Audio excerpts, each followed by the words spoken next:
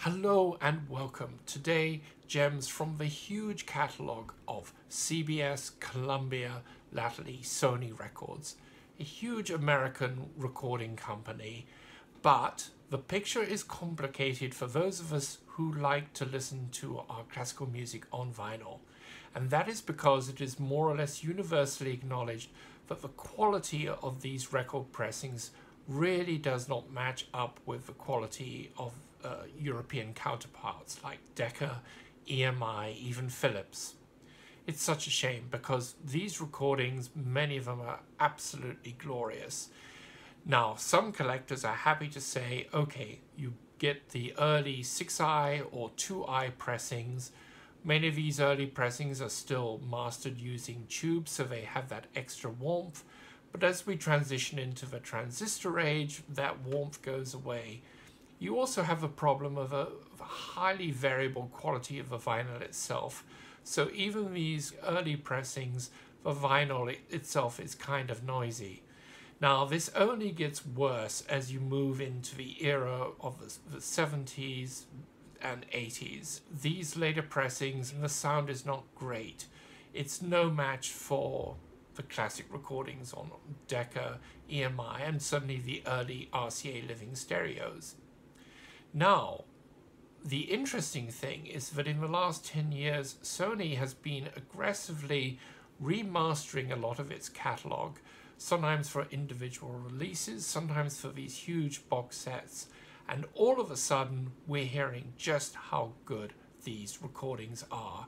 Really, really good. Uh, right now I'm listening to the huge box that came out of Eugene Ormandy's early mono recordings with the Philadelphia Orchestra, and they are a revelation, both in terms of performance and sound. I was not overly familiar with Ormandy's catalogue. I guess, like many Europeans, uh, tended to dismiss him as a bit of a flashy conductor, you know, just all about surface glitter. Well, these early mono recordings are putting me to rights. They are extraordinary, sensational, thrilling to listen to, even though they are recorded in mono. And at a later date, I will be doing a video on that box set amongst others. Anyway, back to the records. I'm going to pick some really choice ones, ones that I, I just love. And I will talk as I go about the different versions and whether you want to go for the CD version. But even given the fact that vinyl is often lacking in these CBS records, um, there's still plenty for the collector, the lover of classical music to find in the used bins or in certain uh, reissues and discover great music and great performances. Now, I'm going to start with this monster. Let's see, pick this up here. This is really something of its time.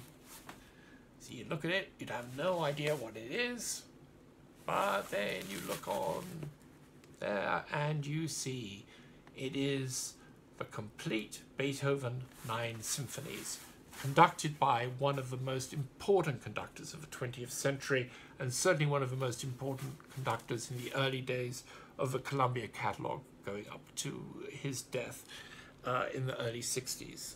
These are performances by Bruno Walter with the Columbia uh, Symphony Orchestra, which was essentially a, a scratch orchestra put together specifically for the recording studio. This is a really lovely set. I had wanted to get a copy of this for some time and it, it, took me a while. This one is not perfect, but it's, it's pretty good. Now you can find this in the earlier 6i pressing, but hard to find that in good condition. This is the Grey Label 2i pressing.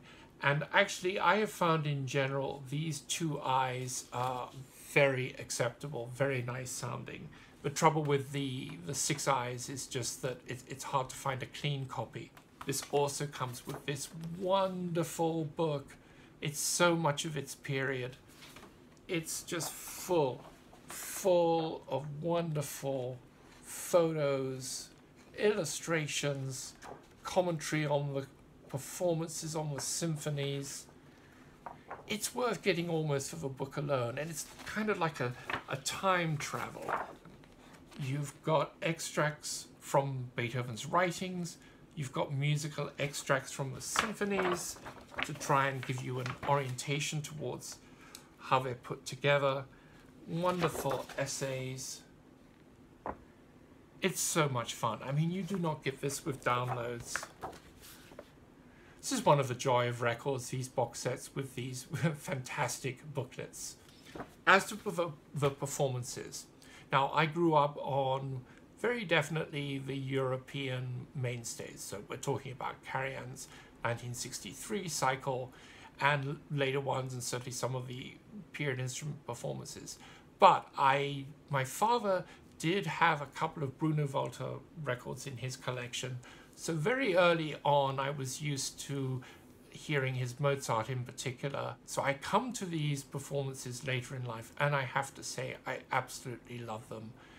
They are beautifully recorded, they are mainstream performances, but he really gets Beethoven's idiom, his soul. Some of these recordings have been reissued individually by Speaker's Corner and Classic Records. I have some of those, and you can look them up on Discogs.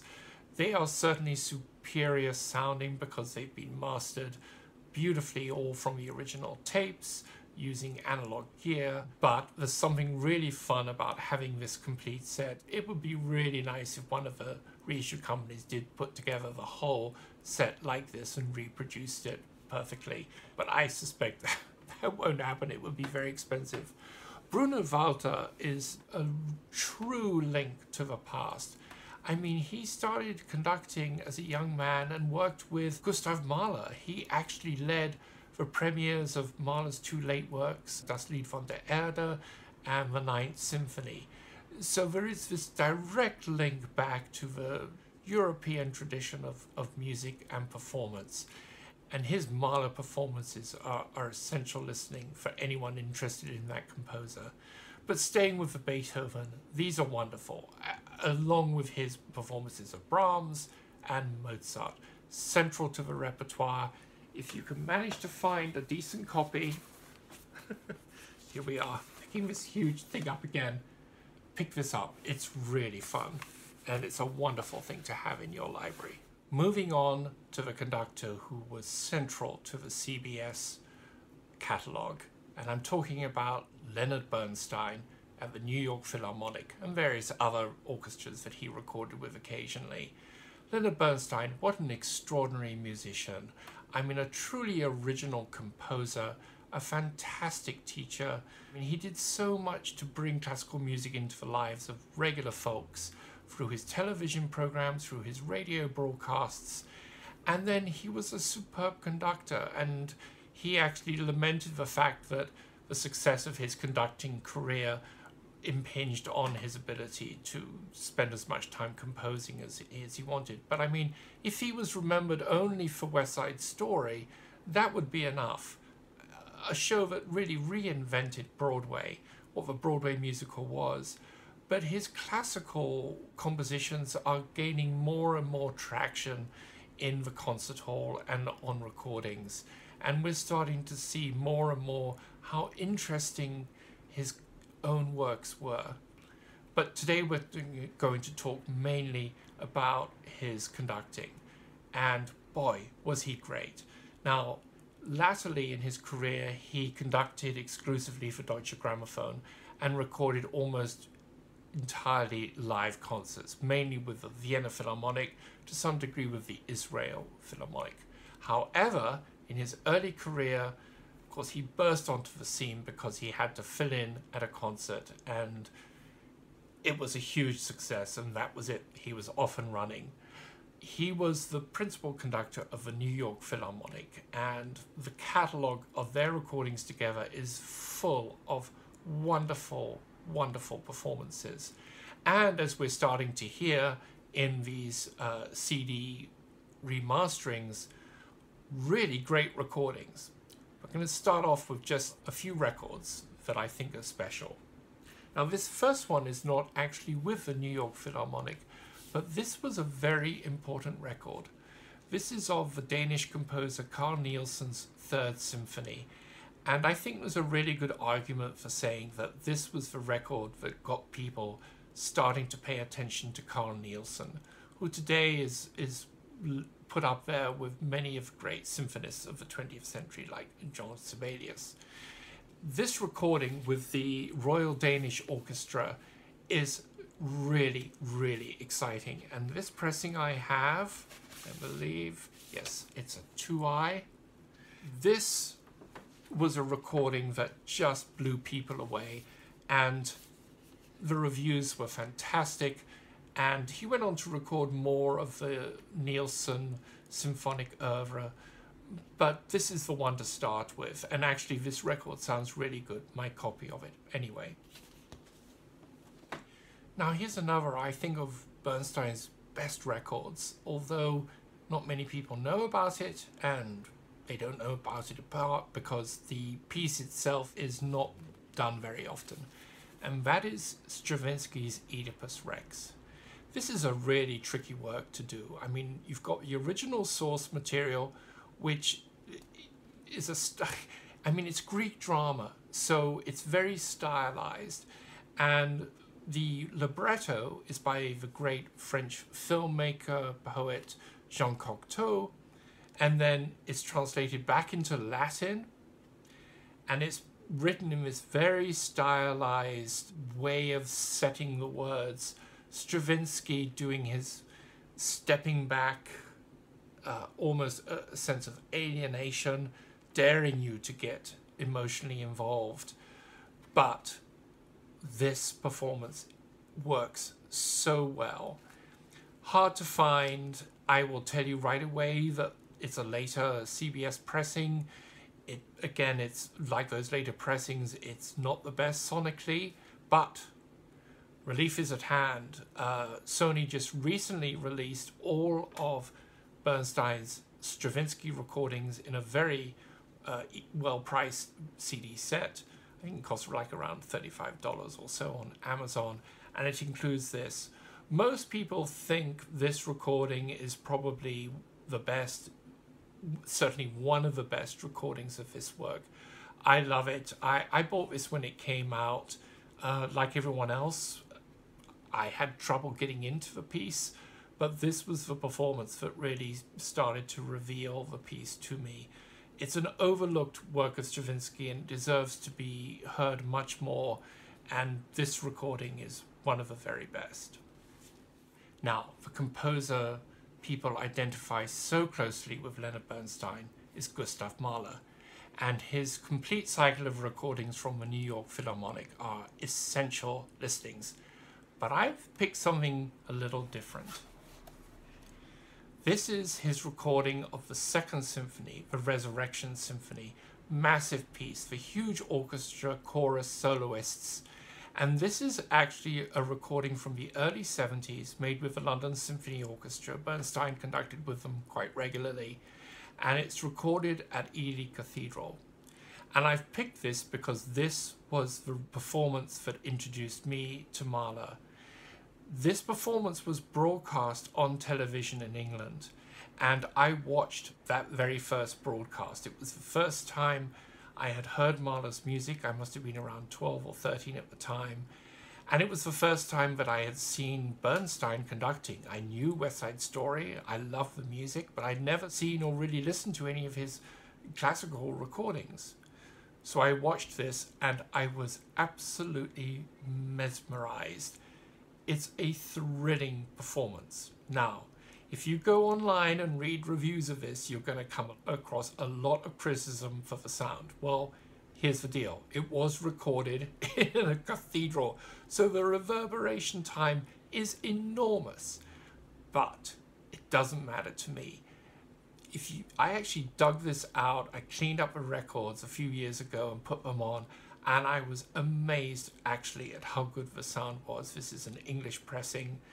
Yes, there's huge reverberation time, but I think the engineers did a pretty good job of conquering that. And I have to say, I, I find this actually a more exciting, thrilling performance than the one he recorded just a few years earlier with the New York Philharmonic in the studio. The other thing that's great about this is you have uh, two wonderful soloists, including, I mean, Janet Baker. Her singing of her solos uh, is just mesmerizing, and also the great Sheila Armstrong. You can catch this on YouTube, and if you want to see Leigh Bernstein in full flight, he was well known for just almost acting out the music as he conducted it, and this is just a, a, mesmerizing thing to watch as well as listen to. Funny thing is that I have a friend who's an actor here in Los Angeles, and his father was one of the trumpet players in the orchestra at this time.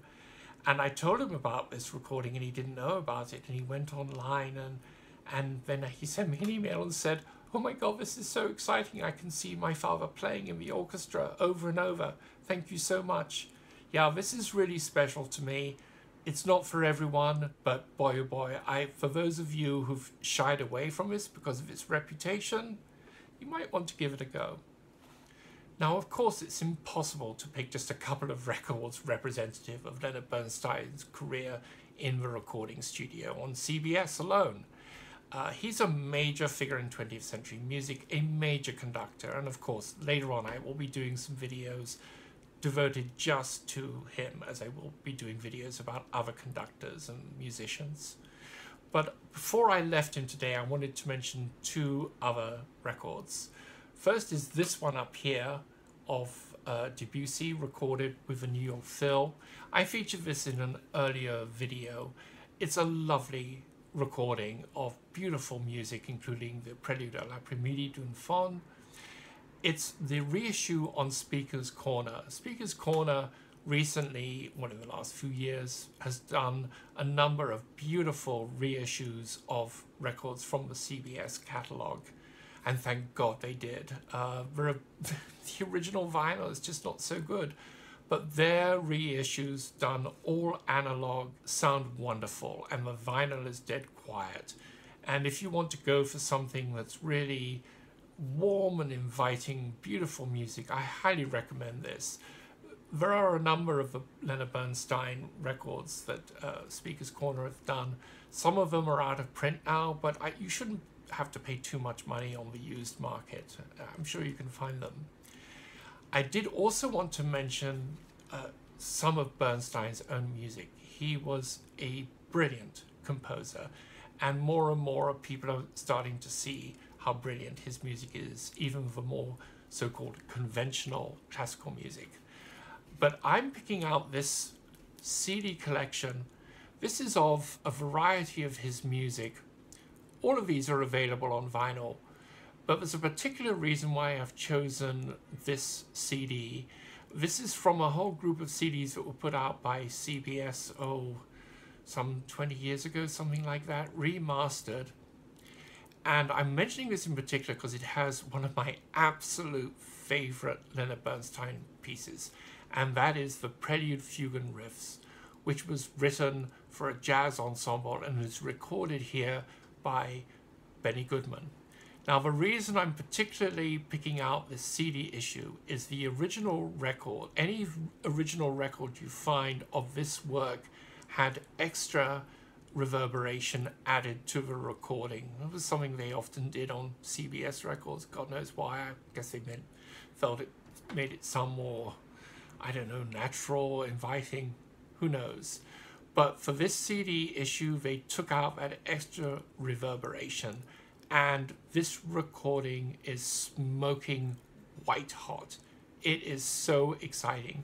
Also on this CD, other really brilliant music by him three dance episodes from On the Town, the Fancy Free Ballet, and the Serenade after Plato's uh, Symposium. It's a major work he wrote for violin, and this is the recording with uh, Francescatti, is the violinist, a really great violinist. So if you want to hear this music, skip the vinyl, try and find the CD. You should be able to find it in the used bins one of the things that I simply do not understand, Sony has been doing these fantastic box set reissues of their core repertory artists. and they've been doing the best job, I think, of any of the companies doing these reissues. They did a beautiful box for Bruno Walter. I'm currently listening to the most recent box of Eugene Ormandy, the mono recordings done with the Philadelphia Orchestra, which are a revelation and thrilling. But we had the Bernstein centenary recently, a year or two ago, and what did they do? They they put out a box of his recordings, but it wasn't everything. It was just sort of cherry picked highlights. They had previously done these various other boxes, bits of pieces here, bits of pieces there, all very nicely remastered. But my God, guys, I cannot believe for the centenary that you didn't put out the proper complete edition, especially when they've done their other artists so proud. So please, Sony, soon can you do a proper, complete Leonard Bernstein edition? In the meantime, there are some wonderful smaller box sets. The set of his Beethoven recordings for CBS, his recordings of Sibelius, his recordings of Stravinsky I already mentioned. These are all available at a pretty cheap price and they sound terrific. So I think the other most important conductor on the CBS label after the three I've mentioned already is Pierre Boulez. And it's so interesting that he ended up having this huge career as a conductor, often of relatively mainstream repertoire, albeit uh, late 19th, 20th century repertoire. Pierre Boulez was the enfant terrible of modern music. He was part of a group of composers who just rejected tonality, were hardcore serialists. They made uh, tough music, difficult music to listen to. I mean, his great breakthrough work, Le Marteau sans Maître, it's a hard listen. I actually saw one of his other works, uh, Pli Selon Pli, done as a ballet, and it was actually much, made much more sense seeing it as a ballet where you had the rhythms and patterns of the dancers imposing on the music a structure that made it easier to understand the music. Now, I've actually come to like Boulez's music quite a bit, and I heard him conduct a lot of it at different times, but that's a whole other story. So with Boulez, we then have this unlikely spectacle of him becoming a very successful, internationally renowned conductor conducting everything from Haydn and Mahler and Bruckner, believe it or not, through to more modern music by people like Messiaen and certainly taking in Bartok, Ravel, Debussy.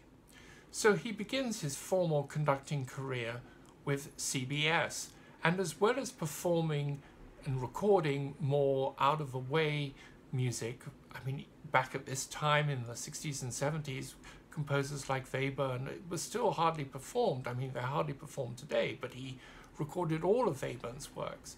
But along with that stuff, the more difficult esoteric stuff and recordings of his own music, he starts to record more mainstream repertoire. And I have to say, I love these records. I'm going to show you a couple of them now. One of his specialties is Bartok. And this record of the Miraculous Mandarin is still my favorite to this day. It's a blistering performance and recording. Terrifying. He captures all the savagery and violence of the score. It's a complete thrill to listen to, and it's coupled with, people often forget this, it's coupled with uh, the dance suite in a beautiful recording. Now, you've got the problem of pressings of this. All these Boulez uh, records are later pressings they're really none of them really terrific. Um, even if the pressing isn't bad, the vinyl is somewhat noisy, even after you've cleaned it on a proper machine. But I got a few of these as I was growing up in England in British pressings, and in general, I think the British pressings don't sound too bad at all. Now, if you want to hear that Bartok record in the sound that it deserves, there's a small English label, independent label called Dutton Laboratories, and they have been going into the CBS catalog and reissuing, remastering records which were recorded for quadraphonic. That was a sort of early version of surround sound. And what Dutton has done is they've remastered these in high res, two channel, and surround on combination CD, SACD. And one of the recordings you can find is that Bartok Miraculous Mandarin. And boy, does it sound great.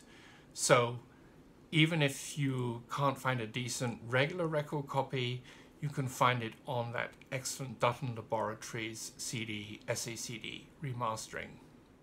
Now, one of the tricks that the record labels did towards the end of the analog era as we were moving into digital recording and then eventually CDs, one of the things they did to try and lure customers into continuing to buy vinyl was they started to issue so-called audiophile uh, editions of their records. And in CBS's case, they started to do these half-speed masterings. Now, over the years and right into the present, half-speed mastering is one of those gimmicks that a number of companies have tried in terms of trying to improve the sound, create a more audiophile sound. I mean, right now in the realm of pop music, you've got Abbey Road Studios doing all these half-speed masterings of really central rock and roll titles. For example, Brian Eno's catalog and I have to say, I haven't really heard any of these, but the reviews have not been too friendly. And the sort of general opinion on these earlier half-speed masterings done by CBS is that they're not very good. Well, I'm not sure I agree with that. I recently was in one of my regular used record stores and I came across a bunch of these half-speed mastered issues put out by CBS and I thought, oh, I'll give these a try. And I was blown away. Now, one of these records is this. Boulez's recording of a Firebird. He recorded the Firebird for CBS. He also went on to record it later on uh, when he re-recorded pretty much everything for Deutsche Grammophon. But I love these early CBS recordings, and this half-speed mastered version is brilliant to listen to.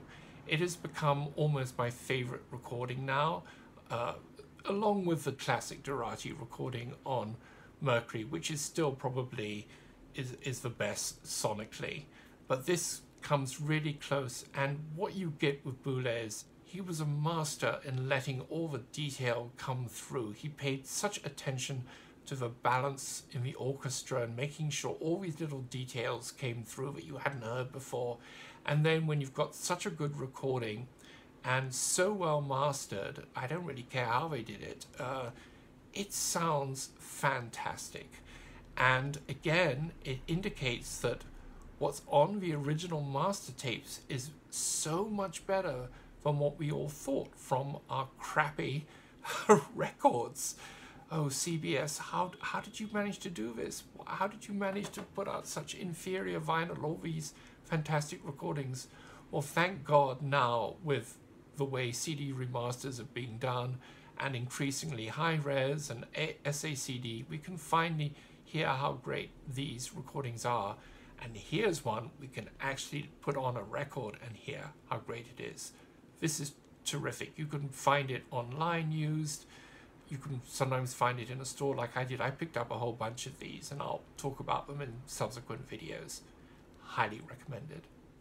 So some years ago, uh, I was visiting England and I always tried to pop down to London and go to one of my favorite used classical record stores, which alas is no longer there, Harold Moore's Records. And they had this basement just full to bursting of fantastic records, rare stuff you couldn't necessarily find. Oh my god, I, I, remember on one occasion I went in there and I went over to their jazz section and they'd just gotten in a private collection and it was all the original early uh, Miles Davis quintet, first quintet performances on Prestige, but in first European UK pressings, different artwork. Oh my god, I won't even tell you how much money they were asking for them. Anyway, one time I was in there and I, I'd become friends with the guy who ran the record section over the years. Sometimes I would call him up from LA and say, do you have such and such and such and such? And he said, oh yeah, yeah I have that. I'll, I'll send you a copy. Anyway, I was in there and he said, So, are you into chamber music? And I said, Oh, yeah, absolutely. He said, Well, do you know about the Budapest String Quartet? And I said, Well, I know of them. I've never really listened to any of their records. And he said, Well, look, I just got a bunch of these in. I haven't even put them out yet. Uh, come and take a look. And, you know, I think they're amongst the very best quartet performances of their era. I mean, the Budapest Quartet was active basically from like the teens of the 20th century through to like 1965 to 70, something like that. They had some changes of personnel. I mean, they are one of the great string quartets. So he plucked out these records and I took a look and I bought a bunch of them, got them home to the States, cleaned them up on my vacuum machine. Wonderful. I just love these records. I've got a bunch of the Beethoven recordings and then this one of the Debussy and Ravel quartets. This is just lovely. I mean, great quartet playing is great quartet playing of any era and this is one of my favorite groups that I've heard. And even though it's a later pressing, this one sounds very good indeed. My other ones are earlier pressings. That's the thing with CBS records. Even on a late pressing like that, you can find a copy that really sounds very good. It's just hit and miss. You just have to go through the agony of buying something and and then see if, if it sounds any good. Anyway, Debussy and Ravel, the Budapest Quartet. I know that Sony's been reissuing a number of recordings by these guys on CD. If you just want to go for one of those box sets, go for it. I've even thought of picking up some of them myself. Wonderful stuff. Shifting gears again to modern music.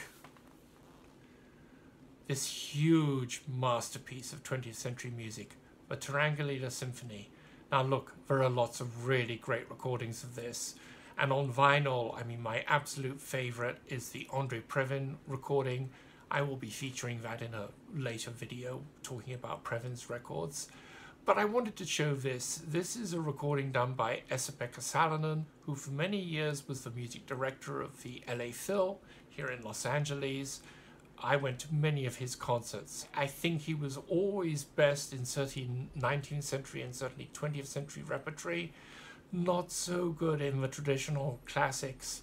I had friends in the orchestra, some of whom enjoyed playing with him, although by the time of his tenure, most of them were ready for a change. But I'm grateful for going to concerts where he did repertoire I never would have heard live anywhere else without waiting for a long time. I love this recording of a Turangalila Symphony. Uh, it's beautifully recorded. Um, I also have it on CD. The CD sounds terrific. Like I said, the Previn version is, is my go-to. And then there's also a, uh, a couple of more recent recordings, one on SACD, which are really excellent. But I love this, and I, I used this in a radio drama uh, for background music, and it worked beautifully really like this performance. And I thought I'd finish on a lighter note with another star of the more recent CBS Sony catalog, and that is this guy, Michael Tilson Thomas. Look how young he is here. For many years, conductor of the San Francisco Symphony, where he started their own record label. Back when I worked in radio and public radio, I produced a series of concerts of his. In the summer, he would take over the Pittsburgh Symphony and they would come to this outdoor arena called Great Woods near Boston. And we recorded all their concerts and put them on the air with interviews and commentary, etc and he was just a pleasure to work with. A formidable musician, one of the most important modern American musicians, in many ways, kind of took over from Bernstein in some respects. Uh, he's also a composer. Nowadays, he's wanting to compose more. He just stepped down from the San Francisco Symphony. and funnily enough, Esa-Pekka Salonen has just taken over at the San Francisco Symphony after being in London with the Philharmonia for many years. This is so much fun. It's just doing all these Gershwin overtures, completely idiomatic, a wonderful blend of Broadway and the classical world. and Tilson Thomas just can, can conduct this with his eyes shut. This is again one of these CBS half speed mastered reissues. It sounds so much more clear than the original version, and the vinyl, of course, is so much better. Highly recommended, and I may have noticed I also have one of his other records up here of Gershwin. Uh, this is doing um, the original version of a Rhapsody in Blue. That's with a, a smaller band. And then we've also got the second Rhapsody for orchestra with piano and various unpublished piano works, and all of this with Tilson Thomas himself sitting at the piano. He's done a number of recordings of Rhapsody in Blue and the different versions of Rhapsody in Blue. They're all great. And uh, I'm a fan of his. I really enjoy his work. He's just a very exciting conductor and interesting, also like Bernstein, a great Mahler conductor. A few years ago, before the pandemic, I heard him conduct the San Francisco Symphony in Disney Hall in Mahler's Fifth, and it was unbelievable. It was such an exciting performance. And of course, Disney Hall has these tremendous acoustics. It's, it's a wonderful hall to go and hear music in, especially big works like that, where you can hear every detail and the hall doesn't sort of get overcome when it gets too loud, which happens in some halls. Anyway, that's the end of this uh, series of gems from the CBS uh, catalog. I will be doing more of these in the future and certainly more on conductors like Bruno Walter, Eugene Ormandy, and the great Lenny Bernstein. What a musician. Anyway, thank you so much for watching. I'm always grateful for any comments, likes, and do subscribe if you're enjoying all these videos. I'm certainly enjoying doing them. Many thanks for watching, and until we meet again, happy listening.